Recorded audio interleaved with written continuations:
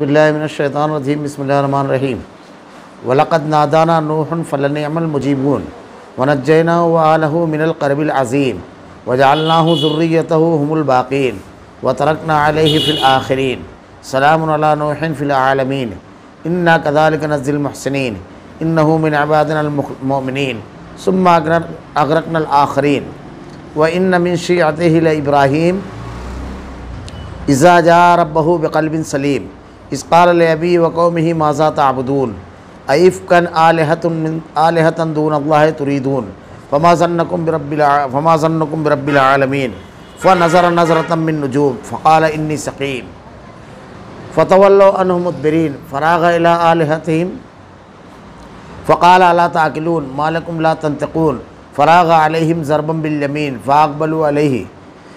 यज़िफ़ून। क़ाल ताबदून मा तनहतून, वल्लाहु खलक़कुम वमा तअलमून क़ाल इब्नु लहू बुन्यान फ़अलक़ू फ़िल जहीम फ़अरादू बिकैदन फ़जअलनाहुमुल अस्फ़लीन।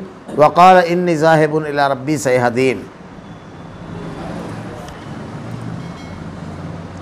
और हमें नूह ने पुकारा तो देख लो, हम कैसे अच्छे दुआ कबूल करने वाले हैं। हमने उसे और उसके घर वालों को उस ज़बरदस्त मुसीबत से बचा लिया। और उसकी औलाद को हमने बाकी रहने वाला बना दिया। और हमने उसका ज़िक्र खैर पिछड़ों में बाकी रखा। नूह पर तमाम जहानों में सलाम हो। हम नेकी करने वालों को इसी तरह बदला देते हैं।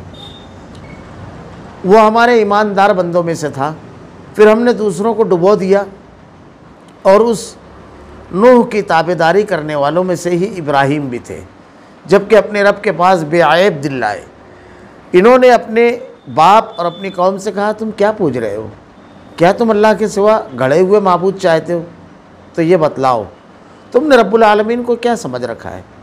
अब इब्राहिम ने एक निगाह सितारों की तरफ़ उठाई और कहा, मत बीमार हो। इस पर वो सब उससे मुँह मोड़े हुए वापस चले गए। बस आप चुपके से उन मबूदों के पास गए और फरमाने लगे, तुम खाते क्यों नहीं? तुम्हें क्या हो गया? बात तक नहीं करते। फिर तो दाएँ हाथ से पूरी क़ुव्वत के साथ इन्हें मारने पर पल पड़े। वो बुतप्रस्त दौड़े भागे आपकी तरफ़ तवज्जे हुए। तो आपने फरमाया, तुम इन्हें पूछते हो जिन्हें खुद तुम तराशते हो? हालाँकि तुम्हें और तुम्हारी बनाई हुई चीज़ों को अल्लाह ही ने पैदा किया और कहने लगे, इसके लिए एक मकान बनाओ, इस इसे और इस दहकती हुई आग में इसे डाल दो। उन्होंने इसके साथ मक्र करना चाहा, मगर हमने उन्हीं को नीचा कर दिया। और इब्राहिम ने कहा, मैं तो हिजरत करके अपने परवरदिगार की तरफ़ जाने वाला हूँ, वो ज़रूर मेरी रहनुमाई करेगा। वलकत नादाना नूहन फ़लन अमल मुजीबून वनजैना वाहलहू मिनल करबिल अज़ीम। और हमने नूह को, और हमें नूह ने पुकारा तो देख लो, हम कैसे अच्छे दुआ कबूल करने वाले हैं? पिछली आयतों में अल्लाह ताला ने जन्नतियों का और जहन्नमियों का ज़िक्र किया कि जहन्नमी और बुरे लोग जो होंगे, गुमराह लोग जो होंगे। तो क़यामत के रोज़ उन लोगों की आपस में क्या रद्द कदा, क्या बहस व तकरार होगी?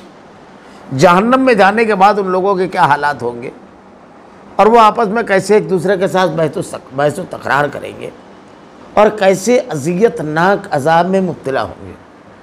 और उन लोगों का भी तस्करा किया जिनको अल्लाह ताला नेमतों भरी जन्नत अता करेगा जो फरमाबरदार नेक लोगों में से होंगे, हिदायत याफ्ता लोगों में से होंगे।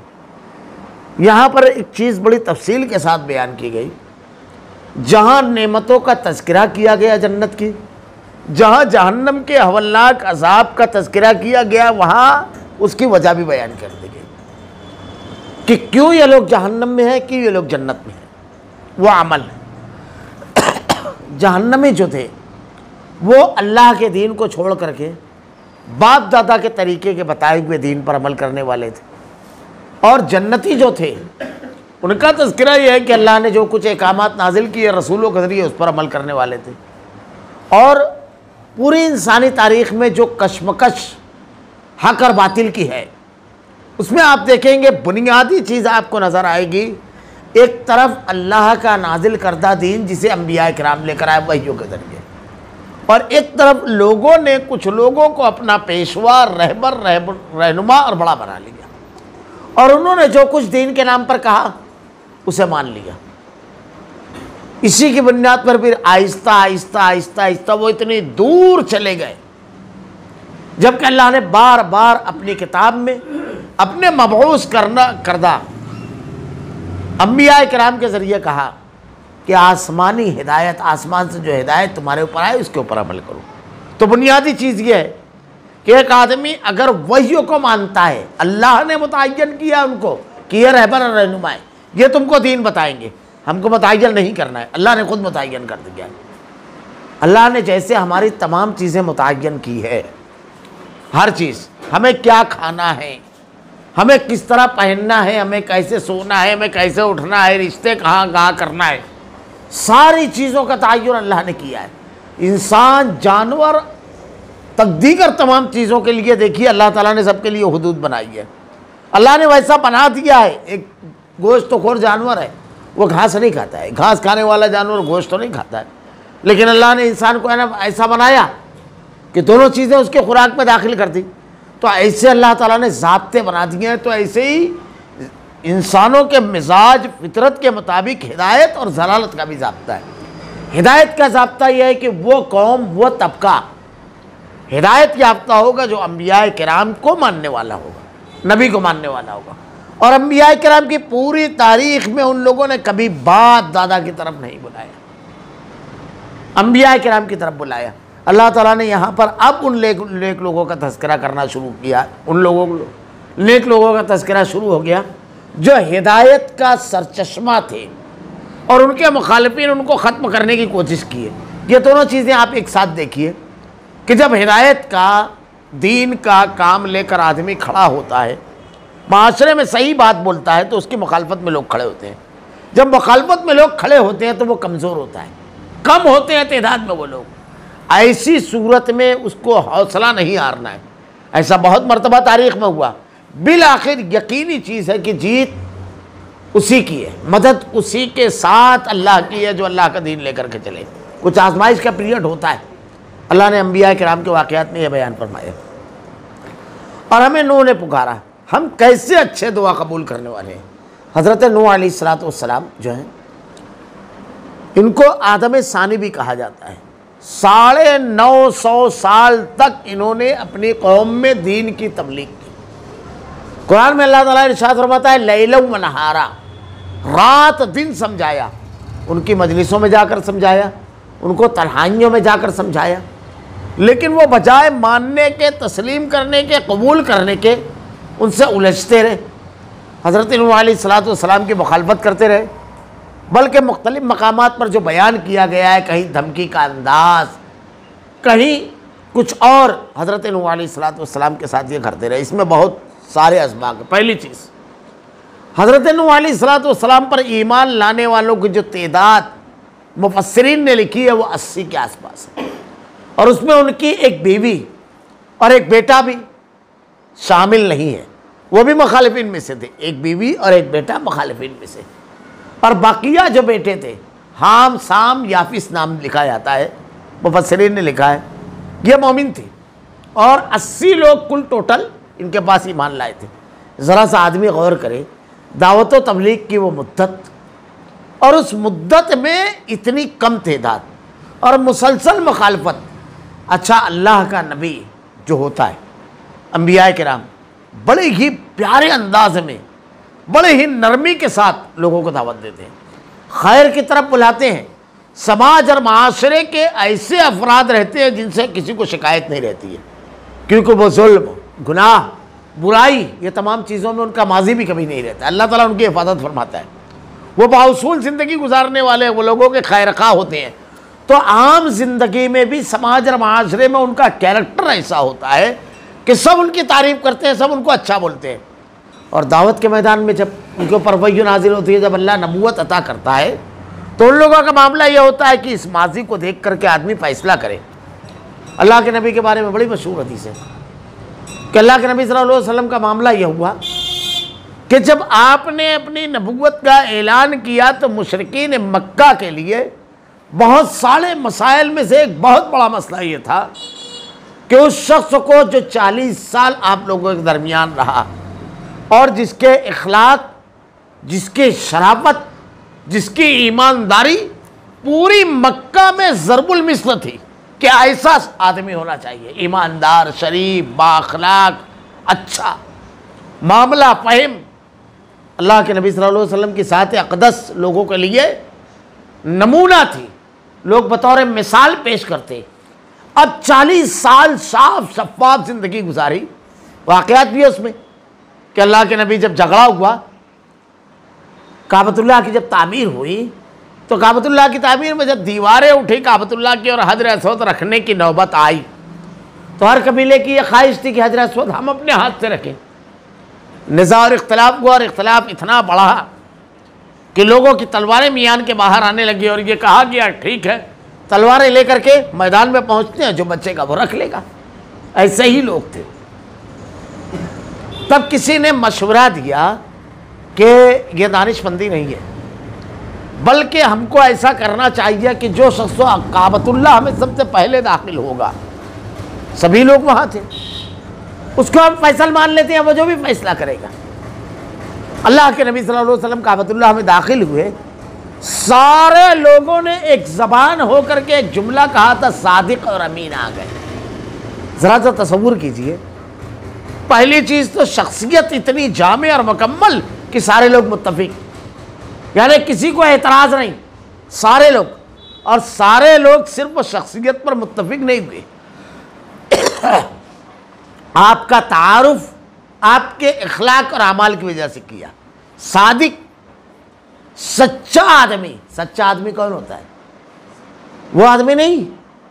जो वाक़े के खिलाफ बोले वो सच्चा नहीं होता है। वो जो बिला वजह किसी की तरफदारी करे हक बात ना बोले, उसको भी सच्चा नहीं बोलते हैं। दो रुखा आदमी बोलते हैं। ये तो उसकी तरफ़ झुक गया, उसका वतन संभाल लिया। हक बात नहीं बोला, मजलूम की, हिमायत नहीं की। सच्चा उसको भी नहीं कहा जाता है। जो किसी के सामने कुछ कहे, पीठ पीछे कुछ कहे, उसको दो रुखा कहा जाता है। तो सच्चा कहा सादिक, यानी हर जगह तौला था आपको लोगों ने। चालीस साल पूरा के पूरा प्रैक्टिकल पूरा के पूरा इम्तहान में गुजारा था। तो बड़े इतमान से कहते हैं कि सादिक और अमीन अमीन किसको कहा जाता है? कि अगर कोई मामला हो तो इतना अमानतदार कि ज़रा सा भी अमानत में ख़यानत नहीं। अगर कुछ रखा गया तो जितना जैसा रखा गया उतना ही वापस मिला। लेन देन में अमीन आदमी उसको कहा जाता है। जो लेने के टाइम तो एकदम डंडी मार करके एकदम दबा कर ले और देने के टाइम बराबर न देवे, उसको अमीन नहीं कहा जाता है। अमीन उसको कहा जाता है जिससे लेन देन करने के बाद आदमी कहे, नहीं, ये एक नंबर आदमी है। तो अल्लाह के नबी सल्लल्लाहु अलैहि वसल्लम की अमानत और सदाकत की गवाही दी। ये अम्बिया कराम का मामला था। अम्बिया कराम अल्लाह रब्बुल के पैगाम को सुनाया करते थे, उन्होंने कभी बाप दादा की बात नहीं की। कभी ये नहीं कहा कि ये बाप दादा से चला रहा है। अम्बिया कराम हमेशा अल्लाह ने तुम्हारी हिदायत के लिए वही नादिल फरमाई।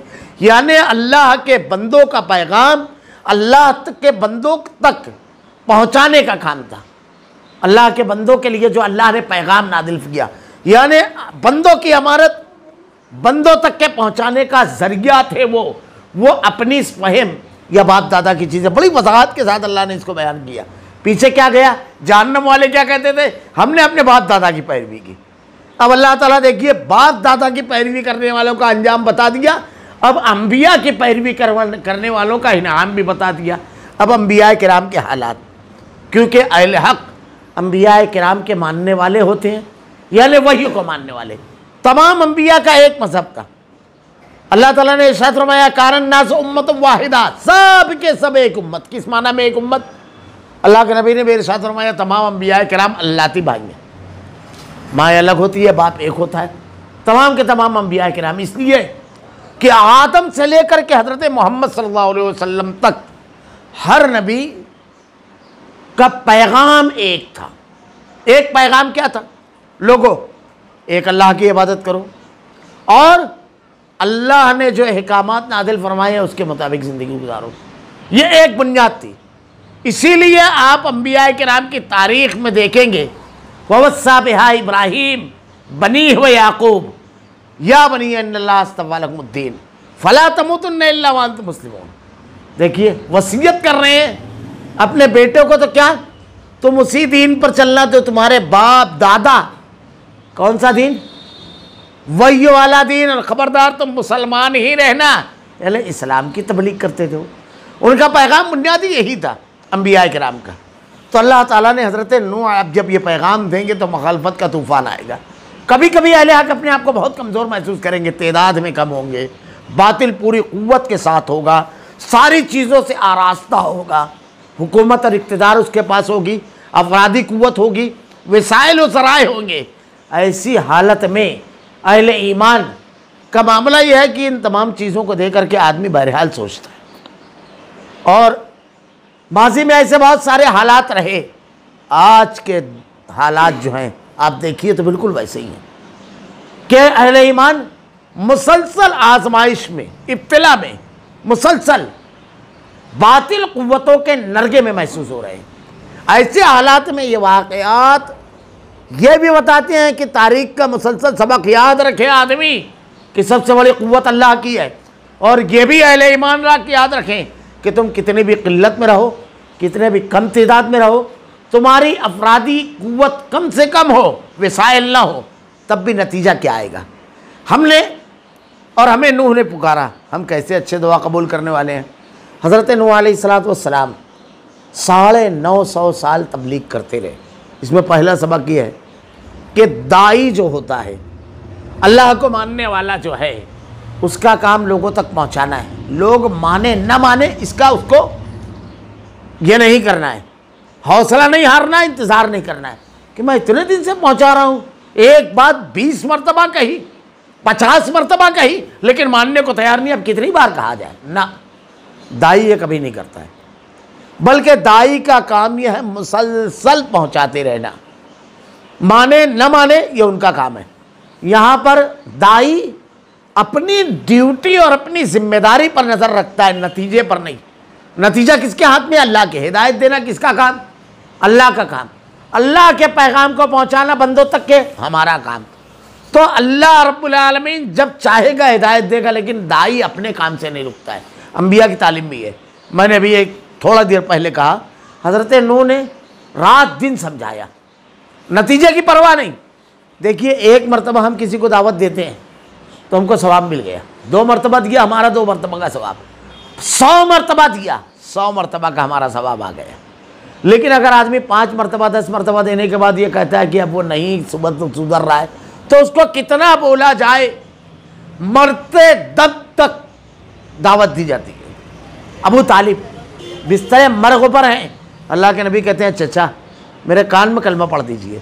अल्लाह के जनाब, में गवाही गवाही दूँगा कि रब्बुल आलमीन तेरी तोहीद और मेरी रसालत का इकरार किया था इन्होंने। आखिर तक के दाई हौसला नहीं हारता है। बहुत ज़बरदस्त हौसले वाला होता है। क्यों? क्यों बहुत मुखलिस होता है। दाई से ज़्यादा मुखलिस किसी का कोई नहीं होता है। क्योंकि वह अल्लाह के बंदों को बंदगी का शूर और बंदगी जिसके लिए अल्लाह ने पैदा किया है, उसकी तरफ़ हकीकी ज़िंदगी की तरफ़ दावत देने वाला होता है दाई। तो हज़रत नू सलाम के पहले उसमें कि आपने साढ़े नौ सौ साल लीड की। हमारे लिए ये सबक है कि हम ज़िंदगी भर लोगों को पहुंचाते रहे। नतीजा हमको नहीं देखना है। हमारा पड़ोसी नहीं सुधरता है, भाई नहीं सुधरता है, बाप नहीं सुधरता है, बेटा नहीं सुधरता है, दोस्त अहबाब और गली वाले नहीं सुधरते, अल्लाह हमसे ही नहीं पूछेगा। लेकिन अगर हमने नहीं पहुँचाया तो अल्लाह हमसे ज़रूर सवाल करेगा, ज़रूर पूछेगा। और हमारे लिए इससे बड़ी अजियत की चीज़ नहीं कि हमारे दोस्त अहबाब हमारे अपने हम वतन, हमारे अपने पड़ोसी जहन्नम की आग में चले बड़ी तड़प होना चाहिए, बल्कि अगर हम वाक़ात देखें, अल्लाह के नबी ने हज़रत उमर रज़ी तु के लिए दुआ मांगी। अबू बकर सिद्दीक रज़ी अल्लाह अल्लाह के नबी से कहते हैं कि अल्लाह के रसूल मेरे वालिद बिल्कुल बुज़ुर्ग और बूढ़े हो गए। बड़ा खौफ लाक होता था कि अगर इसी हालत में वफात हो गई तो क्या होगा। अल्लाह के रसूल दुआ कीजिए। अल्लाह के नबी ने दुआ की, हिदायत दी अल्लाह ने। हज़रत अबू रज़ी अल्लाह तु अल्लाह के नबी से कहते हैं कि अल्लाह के रसूल मेरी वालदा के लिए दुआ कीजिए। बहुत आप समझाते थे। नहीं कबूल करती थी। अल्लाह के नबी से कहा, अल्लाह के रसूल वसल्लम ने हाथ उठा करके दुआ की। घर जब वापस लौटे वाक़ पड़ गया, बड़ा ज़बरदस्त। हो घर जब वापस लौटे तो घर के अंदर से पानी घिरने की आवाज़ आ रही थी। और हज़रत अबू हुरैरा रज़ी अल्लाह तु की वालदा कहती हैं, अबू हुरैरा, रुक, क्योंकि अंदर ये गुस्ल कर रही थी। जब हज़रत अबू हुरैरा रज़ी अल्लाह को वालदा ने इजाज़त दी अंदर आने की, जब आप अंदर गए तो वो गुस्सा कर चुकी थी। और उन्होंने अपने बेटे से कहा कि बताओ इस्लाम में किस तरह दाखिल होती है। कितना ज़बरदस्त मंजर रहा होगा एक बेटे की जो आखिरी दीनी ने तमन्ना कि मेरी वालदा जहन्नम की आग से बच जाए। ये इंतहाई मोहब्बत होती है। उलझना ही नहीं होता है। एक बाप का, एक भाई का, एक दोस्तों का इंतहाई दीरीना ख्वाहिश होना चाहिए। कि उसका दोस्त, उसका भाई, उसका पड़ोसी जहन्नम की आग से बच जाए। इंतहाई शदीद ख्वाहिश होना चाहिए। साहबा कराम में आपको ये चीज़ बड़ी ज़बरदस्त अंदाज में मिलेगी। तो हज़रत नू सलाम ने अपनी कौम को समझाया। कौम ने नहीं माना। कौम हज़रत नू सलाम की मुखालफत करती रही। उसके बाद हज़रत नू सलाम दुआ करते हैं। वदा रब वदा रब इन्नी मगलूब फल तसिर अल्लाह, मैं मगलूब ये लोग गालिब है, हर चीज़ इनके हाथ में है, इख्तियार क़वत अफराद, सब। अब मदद फरमा। जब अल्लाह से दुआ की, अल्लाह ताला इरशाद फरमाता है, हम कैसे अच्छे दुआ कबूल करने वाले हैं? इतमाम में हजत हो गया। अब अल्लाह से जब इन्होंने मदद मांगी तो क्या हुआ? वलजैना मिनल करबिल अजीम, हमने उसे और उसके घर वालों को उस ज़बरदस्त मुसीबत से बचा लिया। हज़रत नू सलाम ने जब दुआ मांगी तो नू सलाम की कौम पर अजाब आया। और कैसा अजाब आया? मशहूर है। बल्कि अजीब व गरीब बात ये, दुनिया में मजाहिब की दो तकसीम की जाती है। एक आसमानी और दूसरा गैर आसमानी। आसमानी मजाहिब जो बोले जाते हैं, उसमें इस्लाम ईसाइत और यहूदियत, यह आसमानी मजाहिब हैं।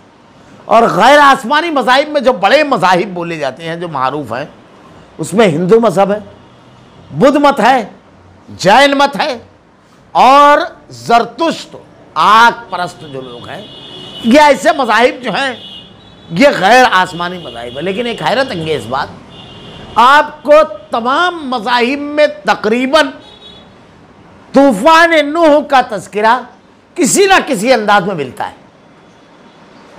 बल्कि हमारे यहाँ हिंदुस्तान के अंदर हिंदू मज़हब की किताबों में जो है, मनु के नाम से जो तस्करा है, तूफ़ान नू का मौरखीन ने लिखा है, शायद इसके इसबाब ये हैं कि हज़रत नू सलाम को अबुल बशर कहा जाता है, आदम सानी।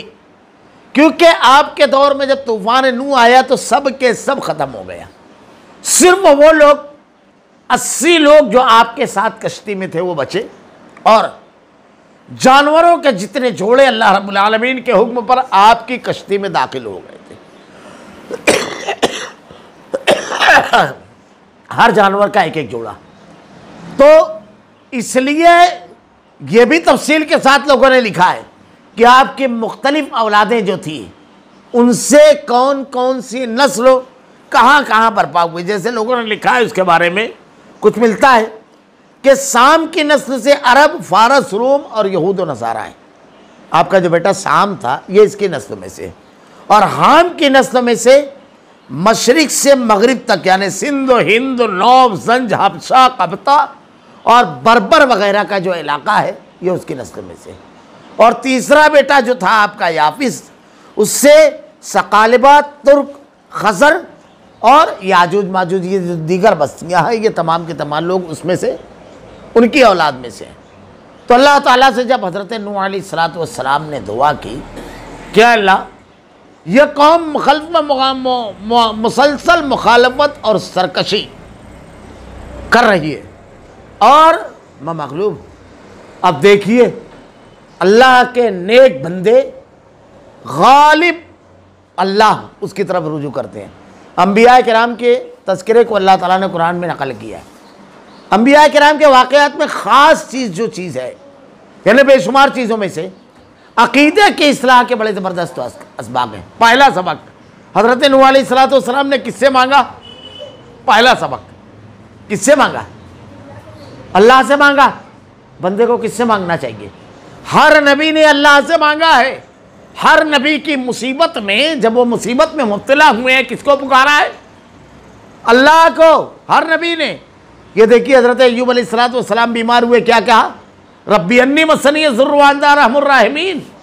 यह हज़रत हज़रत यूनुस सलाम मछली के पेट में गए। क्या हुआ? किसने बचाया? ला सुबहाना का इन्नी कुन तो मनसालमीन ये हज़रत इब्राहिम सलाम को नारे नमरूद में डाला गया, जब आग में आपने क्या कहा? हजमन अल्लाह वकील। इसमें सबसे वाज कौन सी चीज़ है? अम्बिया कौन थे? यह अल्लाह के चुने हुए बंदे थे। सारे मरतबे इंसानों के किसके बाद है? नबी के बाद। सहाबा नबी के बाद। मुहदसिन ताबईन, तबा ताबईन आइम्मा औलिया, सब किसके बाद? नबी के बाद। ये खुद मुसीबत में पड़े तो अपने आप को बचा सके? नहीं बचा सके। कोई नहीं बचा सकता। सिवाय अल्लाह के वयम सलाकाश वयम सस का बखैर फदली। बिल्कुल वाज अकीदा दिया। अगर अल्लाह तकलीफ़ देना चाहे तो पूरी दुनिया मिलकर के बचा नहीं सकती। और अगर अल्लाह बचाना चाहे तो पूरी दुनिया मिलकर के तकलीफ़ नहीं दे सकती। और अल्लाह ही सिर्फ़ बचाने वाला है, कोई और नहीं है बचाने वाला। इसीलिए अम्बिया के नाम पहली चीज़ तो यह कि खुद से बच नहीं सके। और दूसरी बात, बचाने वाली ज़ात अल्लाह की है। यह वाज पैगाम दिया, इसीलिए अल्लाह से दुआ की। अब जो लोग अल्लाह को छोड़कर अल्लाह के अम्बिया नाम से कम दर्जे के बंदों को पुकारने के लिए कहते हैं, वो खुद अपनी मदद नहीं कर सकते, किसी और की मदद क्या करेंगे? बिल्कुल वाज सबक। और नबी को मानने वाला, नबी के तरीके पर अमल करता है, नबी का मुखालिफ नहीं होता है। अल्लाह के अम्बिया ने कभी, अब अम्बिया कराम ने किसी नबी को नहीं पुकारा। अम्बिया कराम ने अपनी उम्मत के लोगों को कभी नहीं कहा कि नबी को पुकारो, डूबने लगे तो नबी को पुकारो। औलाद ना हो तो नबी को पुकारो। मुश्किल में हो तो नबी को पुकारो, कभी नहीं कहा। कहा अल्लाह को। अल्लाह के नबी ने जो दुआएँ बताई है, उसमें यही है। हमारे यहाँ तो ये सबक दिया जाता है कि बच्चों को कहो अस्तफरुल्ला अस्तफरुल्ला अस्तफरुल्ला या गौस कहने की हड्डी नहीं टूटेगी। जबकि बचाने वाली ज़ात अल्लाह की है। अल्लाह के दर से हटा करके खुले हुए शिरकों की तालीम। अल्लाह के नबी सल्लल्लाहु अलैहि वसल्लम ने कहा, जूते का तस्मा भी टूटे तो अल्लाह को पुकारो। हर वक्त तो अल्लाह को पुकारो। ये खुली हुई। तो क्या कहा? हम दुआ कबूल करने वाले हैं। दुआ भी अल्लाह ने कबूल की। वनजना वालमिन करबिल अजीम। हमने उसे और उसके घर वालों को ज़बरदस्त मुसीबत से बचा लिया। जब तूफ़ान नू आया तो अल्लाह ताला ही बचाने वाला है। अल्लाह के नबी हज़रत नू सलाम ने अपने घर वालों को और अपनी उम्मतियों को नहीं बचाया। किसने बचाया? जुमले पर गौर कीजिए। वनजना वालहू मिनल करबिल असीम। अल्लाह ने बचाया। हमारे यहाँ तस्वुर दिया जाता। है पीर साहब बचा लेंगे। माफ़ कीजिएगा, ये मामूली चीज़ें नहीं हैं। लोग इसको इख्तलाफी मसला समझते हैं। इख्तलाफी मसला इस्लाम में ये नहीं है। ये तो खुला हुआ शिरक है। खुला हुआ शिरक है ये। बचाने वाली ज़ात अल्लाह की है। अल्लाह ताला ने कहा, हमने बचाया और देखिए हज़रत इब्राहिम सलाम को आग से अल्लाह ने बचाया। मूसा सलाम को अपनी, आपकी पूरी कौम के साथ अल्लाह ने बचाया। उन लोगों ने नहीं बताया। और इसीलिए उन लोगों ने अल्लाह की बंदगी और अल्लाह की इबादत और अल्लाह को पुकारने की दावत दी।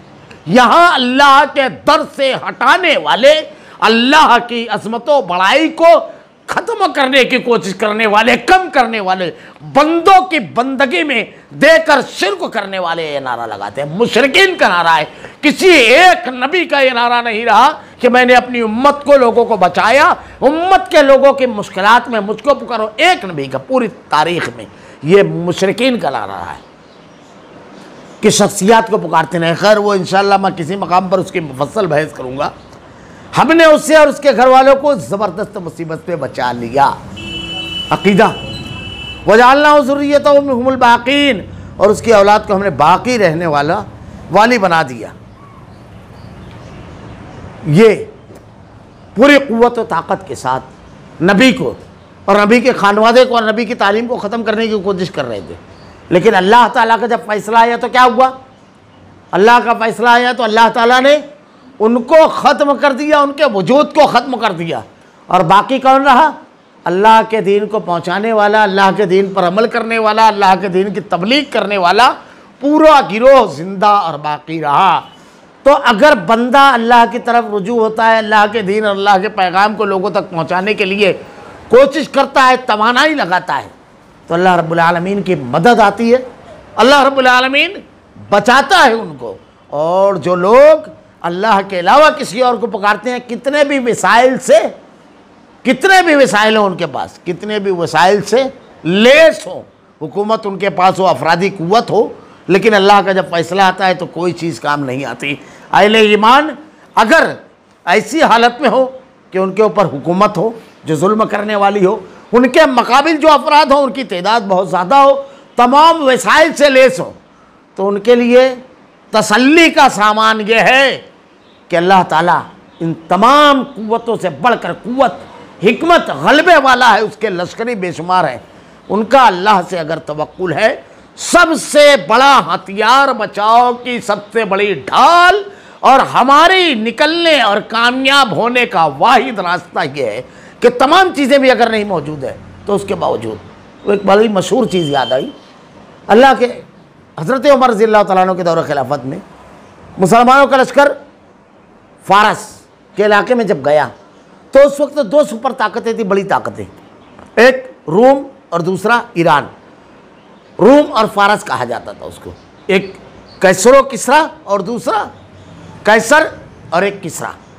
किसरा जो थे, वो ईरानी थे और कैसर रूमी इन लोगों का मामला दुनिया की कोई हुकूमत इनके सामने खड़ी नहीं होती थी। साहब कराम का जब इनका मुकाबला हुआ तो हज़रत अमर अमरबिनास ने हज़रत उमर रज़ी अल्लाह को ख़त लिखा, हम अपने मरकज़ से बहुत दूर है।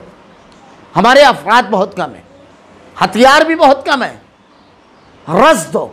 जो लश्कर के खाने और दीगर ज़रूरत की चीज़ें हैं, वो भी बहुत कम है। कमक, मदद, मरकज़ इतनी दूर है। ये भी बार बार नहीं मिलती है। तो आप कुछ कमक रवाना कीजिए, कुछ मदद रवाना कीजिए। मरकज़ से दूरी, अफराद की कमी नई सरजमीन, वसाइल की कमी। इसलिए कुछ ना कुछ इस कमी को दूर किया जाए। हज़रत उमर रज़ी ने एक तारीख़ी जवाब दिया।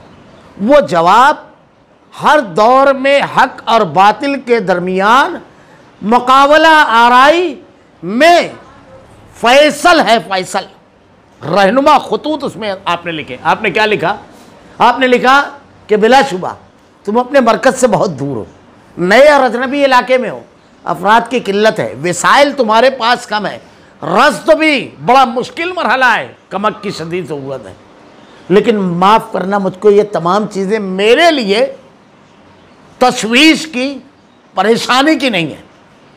ये सब चीज़ें। उस वक्त तक जब तक के तुम अल्लाह के दीन पर अमल करोगे, गुनाह न करोगे, अल्लाह से, अल्लाह को राज़ी करने वाले अमाल करते रहोगे, अल्लाह से रुजू रहोगे। उस वक्त तक तशवीश की नहीं है। लेकिन अगर तुम्हारे अंदर गुनाह आ गया तो फिर बिल्कुल साफ़ मामला है कि जिसके पास वसाइल होंगे, जिसके अफराज ज़्यादा होंगे, मुकाबला तो फिर वही होगा, फतेह उसकी होगी। मुझको तुम्हारा मरकज से दूर होना, रसद और कमक की कमी, मिसाइल की कमी नहीं। अल्लाह की नाराज़गी और गुनाह का खौफ है। अगर ये रहा तो मिसाइल पर फैसला होगा, अगर नहीं रहा तो अल्लाह का सच्चा वादा कुरान में है, कम मिन फ़ेतिन कलीलतिन गलबत फ़ेतन कसीरतन बेदरिल्ला बारह अल्लाह ने छोटे गिरोह को एक बड़े गिरोह पर फजीलत थी ये पूरी तारीख है इंसानी। तो अल्लाह की जब मदद आएगी तो अल्लाह ताला के लश्करी भी बेशुमार है। सारी क़वत इख्तियार का मालिक भी रब्बुल आलमीन है। हम तारीख़ में पढ़ते हैं वही दरिया, जो शीरखार मूसा मूसा सलाम को बिल्कुल बहिफाजत फिरौन के महल तक पहुंचाता है। वही दरिया जो मूसा सलाम और आपकी पूरी कौम को बहिफाजत पार लगाता है, वही दरिया फिरौन को सारे लाहो लश्कर के साथ डुबा देता है। कुत और इख्तियार अल्लाह के हाथ में। ये बताती है तारीख हमें मसलसल, सबक है तारीख का। वह आग जो जलाने का काम करती है, उसके खालिक मालिक के हुक्म की पाबंद है। जब हुक्म दिया कुल्ला या नारों, को उन्हीं बरतों व सलाम इब्राहिम। तो सलामती वाली बन गई। तो सारी कायनात, ये छोटी सी हुकूमत हमारी नज़र में नहीं आना चाहिए। ये चंद अफराद नहीं, उसके लश्कर बेशुमार हैं। ये हमारी नज़र में रहना चाहिए, एक बंदा मोमिन की। बस समझ लीजिए, यह नज़र बन गई अगर तो कामयाब हो जाता है आदमी। अल्लाह ताला ने कहा, उसकी औलाद को हमने बाकी रखा यह ख़त्म करने की कोशिश कर रहे थे। वजाल्ला ज़ुर्रियत बाकीन। व तरकना फ़िल आखरीन। और सिर्फ़ इतना नहीं हुआ। जब ये दावत देते तो इनकी मुखालफत होती थी, इनको ख़त्म करने की कोशिश, इनको बदनाम करने की कोशिश, इनके ऊपर झूठे सीधे इल्ज़ाम लगाए जाते थे। लेकिन अल्लाह का एक फ़ैसला हमेशा से रहा है। अल्लाह के नबी सल्लल्लाहु अलैहि वसल्लम की सीरत पढ़ी है कुरान में उसका तस्करा किया है, सूरह कमर में, कि जब मुशरकिन मक्का की मीटिंग बैठी तो पूरा मंजर कशी की है कि उतबा, वलीद वगैरह जो बैठे हुए थे तो कैसे जुमला कहते हैं, कैसे आपस में बातचीत करते हैं? इन नहू फ़क्र वक़द्दर, फ़कुल फ़कुतल कै फ़कद्दर। सुम नज़र, सुम्मा बसो बसर, सुम्मा तकबर फ़काल इन हादा इल्ला सहन यूसर। इन हादा इल्ला कौल बशर। पेशानी सुकेली यानी जैसे आदमी गौर करता है, ये पूरा मंजर है। आपस में मशवरा कर रहे हैं, बैठ रहे हैं। बैठ करके आपस में कहते हैं कि क्या इल्ज़ाम लगाया जाए। पहले इस पर मुतफिक हो जाओ, वरना एक आदमी कहे जब मजरून पागल है। एक आदमी करे नहीं, अरे शायर सदा है। एक आदमी कहे नहीं, बादशाहत का ज़रूरतमंद है। एक आदमी कहे शायर है। तो अलग अलग हमारी बातों में जब तजाद रहेगा तो लोग बोलेंगे कि तुम लोग एक नहीं हो। कोई शायर बोलता है, कोई मजरून बोलता है, कोई और बोलता है। शायर सदा बोलता है। तो है क्या? तो हम लोग गौर करें। जब वो लोग आपस में बैठे, पूरे वाक़ात मिलते हैं। तो लोगों ने कहा कि ऐसा करते हैं, उसको नहीं, शायर कहते हैं। तो लोगों ने कहा, क्या कह रहे हो? हमारे यहाँ छोटे बच्चे शायरी करते हैं, ख़वातीन शायरी करती है। शायरी की तमाम असनाफ रिज कसीदा, मरसिया, सबसे हम वाकिफ़ हैं। उसकी गुफ्तगु शायरी नहीं है, उसका कलाम शायरी नहीं है। हम जानते हैं, सब जानते हैं, ऐसी बात लाओ जो तुम ताकतवर हो। कहा, ऐसा करो उसको शायर सदा कह दो। कि ऊपर? वो जादू टोना किया गया। अरे, कहा ये कहेंगे? अरे, ये झाड़ फूक वाला जो मामला आप कह रहे हो, हमने झाड़ फूक वालों के गांठे मारना, उनका फूकना, झूमना, सब देखा है। ऐसी जुनूनी कोई हरकत तो उसके अंदर है ही नहीं। कहा ऐसा करो, मजनून ये पागल कह दो। बोले, पागल की बहकी भी बातें। उल्टी सीधी हरकतें क्या हमने देखी नहीं है? क्या कहें? कुरान ने नक्शा खींचा है, सब परेशान। इल्ज़ाम लगाए कौन सा? जो इल्ज़ाम उसके ऊपर बैठ जाए। तो आखिर में नाराज़ हो गए लोग।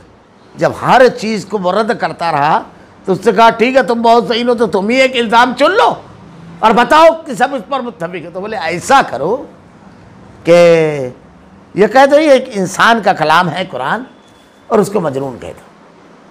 यानी जिसको रद्द किया, उसी को फिर राय बना ली। तो ये प्रोपेगंडा भी होता है। अल्लाह ताला ने क्या कहा? अल्लाह के रसूल वसल्लम के बारे में क्या करते थे? अबू लहब, आप चलते थे तो आपके पीछे पीछे चलता था सगा चचा। इसकी बात मत सुनना।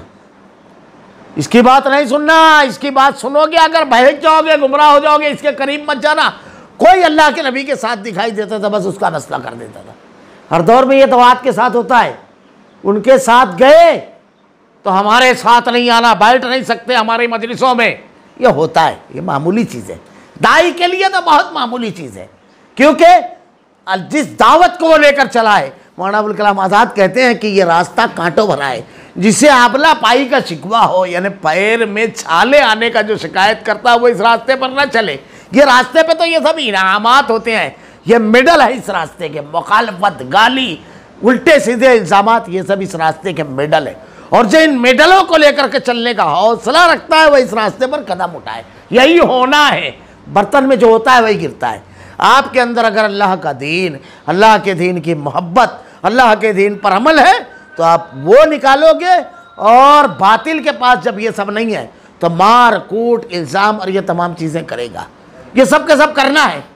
साहबा कराम के ऊपर, अल्लाह के नबी के ऊपर कितने इल्ज़ाम आपको गौर कीजिए। एक अजीब और गरीब बात, अबू जहल। आप जानते हैं गजवा बद्र से एक दिन पहले उसने क्या दुआ की थी? और लोगों ने लिखा, उसकी दुआ कबूल हुई। गजवा बद्र से पहले उसने दुआ की अल्लाह। अबू जहल दुआ करता है अल्लाह, हम में जो ज़्यादा रिश्तों को तोड़ने वाला है, उसको ख़त्म कर दे। उसको नाकाम कर ख़त्म कर दे। उसकी दुआ कबूल की अल्लाह ने। क्योंकि अल्लाह के नबी रिश्ता तोड़ने वाले नहीं थे। ये तो बातिल का वतीरा है कि आप जैसे ही हक पर काम करोगे तो आपको फिर तीन खाना जंगी करने वाला, बाप को बेटे का मखालिफ बना देता है। ये सब इल्ज़ाम आपको लगना ही है। पक्का है ये। और ये पहली मरतबा नहीं हुआ। इसीलिए सीरत पढ़िए कुरान पढ़िए बड़ी तसल्ली के सामान होते हैं इसमें। बिल्कुल मुतमिन ज़िंदगी गुजारता है आदमी मुखालफतों का इस तूफ़ान में। उसको हौसला मिलता है कि मेरे साथ तो वो रवैया किया जा रहा है जो अहल हक के साथ तारीख में मुसलसल हो रहा है। इस रवैया की वजह से उसको इतमान कल्ब की जिस अजीम नेमत से दो चार अल्लाह ताला करता है, वो दूसरों का नसीब नहीं होती है। वो तो रात दिन साजिशों में लगे रहते हैं, परेशान रहते हैं। लेकिन ये तो हमारा दाई का और उनके मखालिफ का मामला है। लेकिन फ़ैसला क्या होता है? अगर हमारा किरदार ये रहा तो अल्लाह ताला ने अब फ़ैसला बताया। ये बहुत बड़ी तसल्ली का सामान है और अल्लाह के फ़ैसलों को तब्दील करना किसी कुत और ताकत के इख्तियार में नहीं अल्लाह ने क्या इर्शाद फरमाया? वजालना ज़ुर्रियत बाकीन व तरक फ़िलाखरीन उसके औलाद ने हम, औलाद को हमने बाकी रहने वाली बना दिया। और उसका ज़िक्र खैर पिछले रोगों में, पिछलों में बाकी रखा। उसका ज़िक्र खैर, नेक आदमी का नेक अमल करने, नेकी का पैगाम देने वालों का ज़िक्र खैर अल्लाह बाकी रखता है और साजिश करने वालों और अहल हक को असीयत पहुँचाने वालों, उसको रोकने वालों का ज़िक्र शर होता है, या तो तारीख़ के समाज से उनके ज़िक्र को ख़त्म कर दिया जाता है। अभी देखिए, अल्लाह के रसूल, साहबा कराम हमारी आम मजलिसों में अगर पूछो, दस बीस साहबा कराम के वाक़ात नाम बता देते हैं, आम से आम लोग। उलमा की बात जाने दीजिए। अशर मुबशरा दस साहबा कराम जो जन्नती हैं, उनका बाकायदा याद कराया जाता है। खलफा राशिदीन। कितना तस्करा है? ये दुनिया के अरबों मुसलमानों के अव्वल रहबर रहनुमा, अल्लाह के नबी सल्लल्लाहु अलैहि वसल्लम के साथी। इस्लाम का जुज्व लायन फिक इनका तस्करा अल्लाह ने कुरान में भी किया। लेकिन मुशरकिन के कुफ़ार के जो बड़े हैं, अबू जहल। अबू लहाब। इनका कोई तस्करा मिलेगा? इस्लाम मुखालिफ में। ये कभी नहीं बोलते, ये हमारे रहबर और रहनुमा। ये कभी नहीं बोलते, ये हमारे बड़े। फ़िरौन और हामान का तस्करा मिलेगा। अल्लाह के नबी की तालीमत में मूसा इस्लाम का तस्करा है, इब्राहिम इस्लाम का है, लेकिन फ़िरौन, हामान, कारून का तस्करा उनकी तारीख में मिलेगा? नहीं मिलेगा। नमरूद का तस्करा मिलेगा, उनकी तारीख में नहीं। अल्लाह ने जो बातिल की कशमकश में बयान कर दिया बस। उनका ज़िक्र खैर बाकी नहीं रहा। कोई उनके कारनामे को बताने वाला उस तबके में, आज इस्लाम मुखालिफ कितनी कुत है। कोई है जो अबू जहल के कारनामों को बताए, अबू लहद का, अबू लहब का तस्करा करे उतबा और शैबा के बारे में खुद बयान करे। हारून और कानून के, और हारून, कारून और फिरौन के मजालिम को बड़े अच्छे अंदाज में है कोई? ये ये गुज़रने के बाद मैंने इससे पहले वाले दरस में कहा था, नेकी और अल्लाह की दीन के ऊपर अमल और रज़ा, इसके कई फ़वाद हैं। देखिए कि यहाँ आया, मैं सिर्फ़ तस्करा कर दूँ। पिछली मरतबा मैंने कहा था, नस्लें उससे फ़ायदा उठाती है, नस्लें, वरना उसी नस्ल में शुरू होता है। मैं तारीख का, इसको आप इख्तलाफ की तरफ़ मत लेकर जाना, इख्तलाफ की तरफ़ मत लेकर जाना, मैं कड़वी सच्चाई साइज़ में शहीद रहमत ने एक किताब लिखी है, तकवीतुल ईमान। उस किताब को अगर आप पढ़ें, उलमा पढ़ते हैं तो लगता है कि ये किताब जो कुछ इसके बारे में सुना था, ये तो वो नहीं है। यानी हकीकत में तासर पैदा होता है। लेकिन उस किताब ने इंडो पाक में इनकलाब बर्पा किया। पूरे पूरे गाँव आप देखिए, शिरकों से तोबा से एक किताब की वजह से की पूरे पूरे एक वक्त था कुरान के बाद सबसे ज़्यादा पढ़ी जाने वाली किताब। मौना अबुल कलाम आज़ाद रहमत कहते हैं, जो चीज़ बंद दरीचों में लोग कहते हुए कांपते थे, जामा मस्जिद की सीढ़ियों पर और उसकी शाहराहों पर अलग ऐलान, अगर किसी ज़ात ने कहा है पूरी वजाहत के साथ तो वो साज माए शहीद रहमत पहले। वरना काल अल्लाह और काल रसूल की सदाएँ ऐलान बुलंद करना संगीन तरीन जुर्म था। ये वो मुल्क है जहाँ शाह वली मोहद्दी एलवी रहमुल्ला ने कुरान का तर्जुमा फारसी ज़बान में किया तो लोग उनको कत्ल करने के लिए दौड़े कि यह कुरान कर, समझने की कोशिश कर रहा है। उन्हीं के पोते थे शाह शहीद रहमत उनकी एक किताब। और उसके बाद देखिए, आज तक अल्लाह ताला ने उनके नाम को बाकी रखा। आज तक उनके ज़िक्र खैर को। बेशुमार वाक़ात हैं। एक और बहुत बड़े मौलवी हैं। उनकी किताबों पर किताबें लिखी जा रही हैं। उनकी ज़िंदगी ही में उनकी औलाद का, विरासत का झगड़ा शुरू हो गया। कोई उनकी तहरीक से वाह, उनका अपना घर भी मुतासर नहीं हुआ ये फ़र्क पड़ता है, इखलास बड़ी कीमत है इसकी, बड़ी अहमियत है इसकी। अगर अगर आदमी ज़िक्र खैर अल्लाह ताला बाकी रखता है, दूसरी चीज़। ये तो देखिए, घराने में जो होता है, नेकी अगर आदमी के अंदर रहती है तो उसके फ़ायदे, हर आदमी चाहता है कि बड़ा अजीब गरीब मामला है, उसकी औलाद को अल्लाह ताला को माल से नवाजे। इत्तेहाद इत्तेफाक के साथ रहें। अल्लाह ताला का इनामात हासिल हो, अल्लाह ताला ने फितरत बनाया है। लेकिन अल्लाह ताला ने उसके हसूल के जो ज़राए हैं, वो बता दिए उसको इस्तेमाल करना। एक क्या है? मैंने पिछले हफ़्ता जो बताया था, अबू मोहम्मद सालेहा। हज़रत मूसा अलैहिस्सलाम और खज़र के वाक़े में देखिए, आदमी अगर नेक होता है तो क्या फ़ायदा है? बेशुमार फ़ायदे में से यहाँ एक आया, एक ही है बहुत सारे हैं, मैं गाहे बगाहे पेश करूँगा। तो आप लोग जब वहाँ पर गए बस्ती में तो बस्ती के लोगों को कहा मेहमान नवाजी करो। इसलिए कि जब कहीं सफ़र करके पहले के दौर में लोग जाते थे तो होटल वगैरह रहते ही नहीं थे। तो कहा, खाना खिलाओ इन लोगों ने इनकार कर दिया। एक दीवार गिर रही थी, हज़रत खजर ने उस दीवार को सीधी कर दिया, बिना उजरत के। हज़रत मूसा सलाम कहते हैं कि, यह कौम हमको खाना नहीं खिला रही है। हक है हमारा। उस दौर में था। तुम उसका काम फ्री में कर रहे हो। आपने जो जुमला कहा कि इस इस दीवार के नीचे एक खजाना है और दो यतीम बच्चों की मिल्कियत है। उसके बाद जो जुमला हज़रत अब्दुल्ला इब्न अब्बास रदी अल्लाह कहते हैं, कुरान का जो जुमला है, अबू होमा सालेहा, उनका बाप नेक आदमी था। बाप की नेकी का तस्करा है और उसका बेनिफिट, फ़ायदा किसको मिल रहा है? उनके ख़जानों की हिफाजत रब करवा रहा है, खिजिर के ज़रिए। अगर बाप नेक रहेगा तो अल्लाह ताला उस नेकी की वजह से उसके बच्चों को भी फ़ायदा होता। है अबू होमा सालेहा, बाप की नेकी का फ़ायदा मिलता है। ये अल्लाह ताला बाकी रखता है, वरना कैसा होता है? जैसे ही बाप मरा, तरके के झगड़े शुरू हुए, इख्तलाफ और इंतशार, अब्बा ये किया, तू अब्बा का मारा, अब्बा तेरे साथ, ऐसा थे मेरे, ये सब चालू हो जाता है। ये सब के लिए तैयार रहना चाहिए, आदमी को दुनिया में सब करता रहता है। दीन और दीनदारों से खेलता रहता है तो ये होता है दीन पर अमल और दीन की खिदमत करता रहता है तो अल्लाह ताला उसका ज़िक्र खैर वो बाकी रखता है। दिलों को फेरने वाला वो है, ज़बानों को चलाने वाला वो है। उसकी अपनी नस्लों को फ़ायदा पहुंचाता है। दूर रस निगाहें, दूर तक निगाहें होती है तो आदमी दीनदार होता है। बस, अब तो तर्जुमा कर दूँगा वक्त का। नूह पर सलाम फ़िलआलमीन ये देखिए नो पर तमाम जहानों में सलाम। इन्ना कज़ालिक नजिल मोहसनीन। हम नेकी करने वालों को इसी तरह बदला देते हैं। इन नमिन आबादमिन वो हमारे ईमानदार बंदों में से ये अल्लाह की तरफ़ से सर्टिफिकेट है। दो चीज़ें बहुत बड़ी। अल्लाह ताला ये कह रहा है कि हम नेक बंदों को इनाम देते हैं। बदको नहीं मिलता है। और अल्लाह ही देने वाला है तो अल्लाह ही से लेने के लिए अल्लाह ही को राज़ी करना है, अल्लाह के अहकाम पर अमल करना है। वो हमारे ईमानदार बंदों में से था। सुम्मागरकरीन और हमने दूसरों को डुबा दिया। अल्लाह के नेक ईमानदार बंदे अल्लाह के पैगाम पर अमल करने वाले महफूज और मामून रहेंगे और गरकाब वो होंगे जो अल्लाह के पैगाम को न मानने वाले अम्बिया के मुखालिफ होंगे।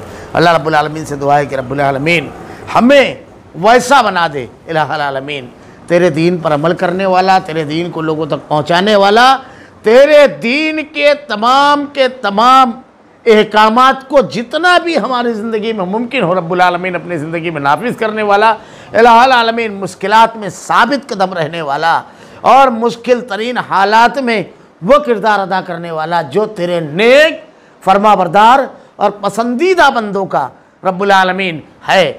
आलमीन, मखालिफ की तमाम के तमाम मुखालफतों और तमाम काविशों के बावजूद से बात कदमी दे। अल्लाह तू ही साबित कदमी देने वाला है। आलमीन, तेरे कलाम की आयतें और तेरे नबी की हदीस को हमारा किरदार अमल बना दे। हमारा खात्मा ईमान पर फरमा। रब बना अल्लाह तो सिकुलू बना बाद इज़्ज़ती तना वहबलना व बिहम्दिका, अशहदु